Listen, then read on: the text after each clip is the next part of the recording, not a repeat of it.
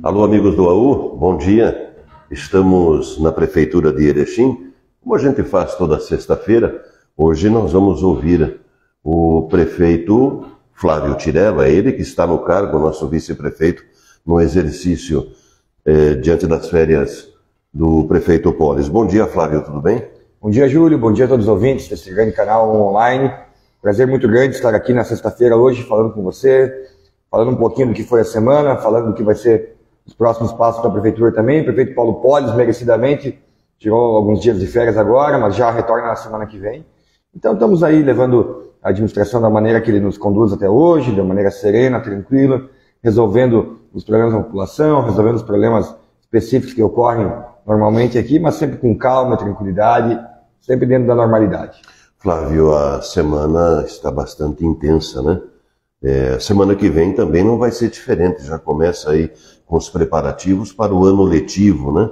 Isso, semana começou, a gente já começando a semana no Hospital Santa Terezinha, com a, a readequação da equipe diretiva lá do hospital, Jacques Sarpini voltou, continuou o Márcio, a Camila, para bem desempenhar a função, o hospital é muito grande, muito complexo, então tem muito trabalho lá, estivemos lá já no começo da semana, organizando isso, Uh, semana que vem, como tu bem falou, retornaremos às aulas, então tem toda uma preparação. Já na segunda pela manhã já teremos uma reunião ampliada uh, com a equipe diretiva, professores lá na URI. Então uh, vai ser uma semana também muito, muito intensa, como foi essa. Tem o retorno às aulas é, é, é complexo, então tem que dar tudo certo. Temos escolinha nova, então Maria Clara está sendo finalizado ali as pressas, mas vai ser finalizado, já vai entrar no ano letivo agora. A princípio é em torno de 200 alunos. Já estamos preparando também uma ampliação, porque uh, tu manter uma escola, uma equipe diretiva, toda uma estrutura para 200 alunos, então já pensamos aquele, uh, o bairro Maria Clara e arredores está crescendo também, então já estamos pensando em ampliar lá. Mas vai ser um ano, tenho certeza que será um ano que nenhuma criança ficará fora da escola.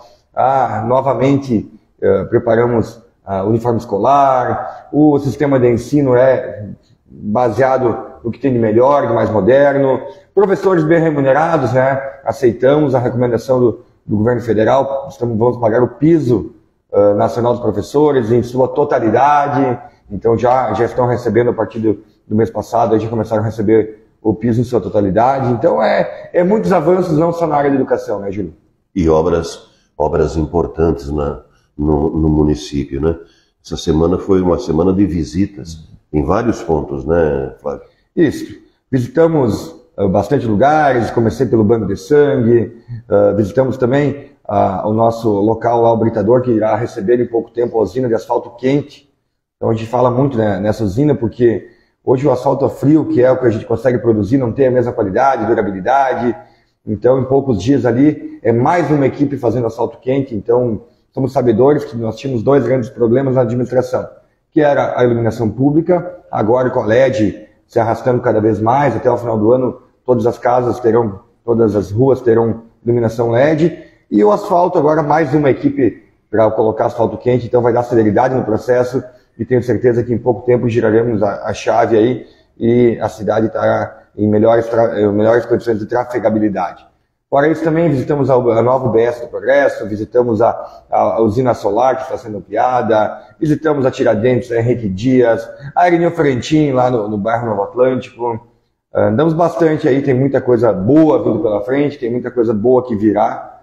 Então estamos muito felizes aí em poder entregar um serviço de boa qualidade e melhorias em todos os aspectos para a nossa população. Falar em melhorias, é, vamos ter finalmente o nosso ginásio municipal né? multiuso, inclusive, né, Flávio? O, o, o, Júlio já esteve lá no ginásio, né?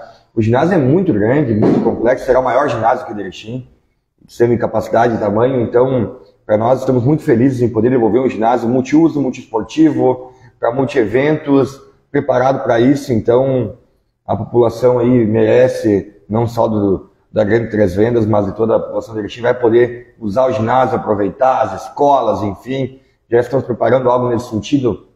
A inauguração daqui uns três, quatro meses é a previsão, meio do ano, mas com alguma atividade escolar, com algumas sei, Olimpíada escolar, enfim, alguma coisa nesse sentido. A Secretaria da Cultura e Esporte já está preparando, porque é, é importante é isso, né? Tu tem um espaço, o espaço é nosso, é meu, é seu, de todo mundo que está nos ouvindo, tem que ser devolvido à população. Exemplo do Parque Longines, Vai lá no final de semana, a comunidade está indo lá, a comunidade aderiu ao parque, não tem um episódio de degradação do parque, alguma coisa nesse sentido.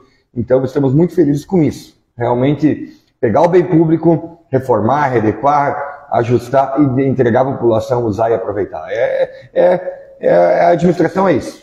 Flávio, é, é importante se frisar, a gente até estava conversando com o pessoal aqui antes é, de abrir essa live, a, a, administração de Erechim está vivendo um bom momento, né? Está tudo em paz, está tudo sereno, muitas obras em andamento, é, é, não temos é, aquelas grandes queixas, aqueles grandes problemas. Tem problemas para resolver? Tem. Senão não justificava a presença da administração, né? E problemas pontuais sempre vão ocorrer, né? É, vou copiar uma frase do nosso prefeito Paulo Polis aqui, que ele fala que é que nem um, uma grande família. Daqui a pouco tem que investir mais um filho no outro, daqui a pouco um filho começa a ir mal na escola. A prefeitura é igual, tem que cuidar em todos os setores, cuidar de tudo. E daqui a pouco investir um pouquinho mais em educação, daqui a pouco se preocupar com a saúde. Há tempos atrás tivemos a pandemia que não esperávamos, que, e aí nosso foco praticamente era na, na busca por vacinas. Então, é, tu vai se adequando, mas, como tu bem falou, uh, temos um momento tranquilo, sereno, a prefeitura vai bem, todo mundo tranquilo, não tem algum problema específico. A equipe de secretariado vem dando conta do recado, estamos muito contentes com isso também.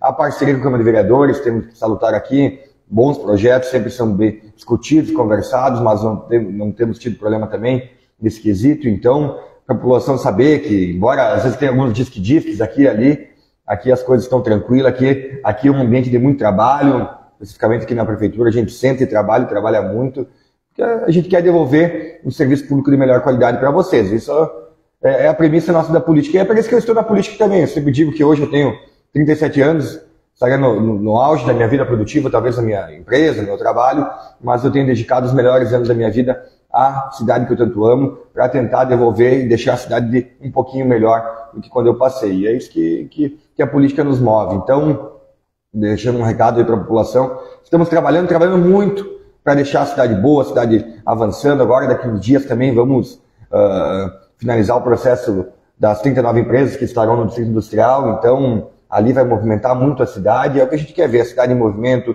geração de emprego, de renda, o povo feliz, o povo com cultura, o povo aproveitando, o povo com saúde, o povo com educação. Então, a cidade indo bem, todo mundo vai bem e modernizando a administração, né? atualizando tecnologicamente todo o processo administrativo também. Né? É aquele quesito da melhorias em todos os sentidos, né? Então a gente fala hoje em cidade inteligente, cidade na palma da mão, e nós gestores estamos sentindo isso. Eu pego o celular, abro o aplicativo, consigo ver números, ações, enfim. Cidade inteligente, a cidade praticamente hoje 90% dos protocolos estão sendo feitos de maneira online. Também temos um novo centro tecnológico. Antigamente tínhamos uma incubadora de algumas empresas ali, enfim, mas não estava sendo a contento. E agora, daqui a uns dias, vamos estar lá no Polo da com um novo centro tecnológico municipal. Então, é muitas melhorias em todos os sentidos. Estamos tentando avançar passo a passo, sem alarde, sem auê, em todos os, os segmentos da sociedade. Eu acho que a sociedade tem entendido isso, aonde eu vou, aonde eu, eu, eu ando, basicamente, o povo fala. Ontem de noite, por exemplo, o pessoal uh, reconheceu o Mata Comissão, diz, ó, oh, o Parque Longínquos está lindo, parabéns, precisamos de mais parques assim. Infelizmente não temos, né? Essa é a única reserva uh, ecológica ambiental nesse sentido. Mas temos algumas praças, temos outros ambientes que, que também podem ser aproveitados e devem ser aproveitados. Flávio, bom trabalho, ótimo fim de semana. Obrigado, pessoal. Obrigado pela oportunidade de estar aqui prestando contas um pouquinho. Uh, estou muito feliz de estar à frente do, do município que eu tanto amo. E estou trabalhando muito para estar contente, tá bom? Obrigado a todos, uma excelente sexta-feira e um excelente final de semana. Fique com Deus. Obrigado pelo seu carinho, pela sua atenção. Ótimo fim de semana. Nós voltamos na próxima sexta-feira, ao vivo, aqui da Prefeitura Municipal de Erechim, conversando com o prefeito. Até lá.